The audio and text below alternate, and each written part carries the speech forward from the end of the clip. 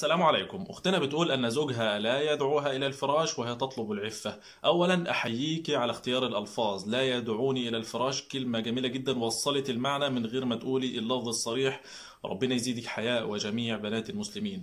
أولا العلماء اختلفوا في القدر الواجب الذي يجب أن يجامع فيه الرجل زوجته. منهم من قال أربعة أيام ومنهم من قال أربعة أشهر ومنهم من قال كل طهر يعني كل شهر مرة. ولكن الرأي الراجح أنه واجب بقدر حاجتها وقدرته.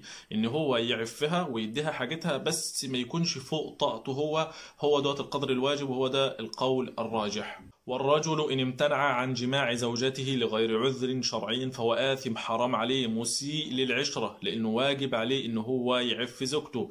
وفي بعض الأزواج بيكون مع زوجته يقضي حاجته ويوصل للي هو عايزه ويسيبها هي وصلت للي هي عايزاه قضت حاجتها أو ما قضتهاش أهم حاجة نفسه وده برضه ما ينفعش. زي ما أنت خدت اللي أنت عايزه لازم تديها اللي هي محتاجاه. طيب هو دلوقتي ممتنع عن جماع زوجته الزوجة هتعمل إيه؟ والله قدرت تعف نفسها بالصيام وغيره وتبعد عن المحرمات كان بها ما قدرتش يجوز لها أن تطلب الطلاق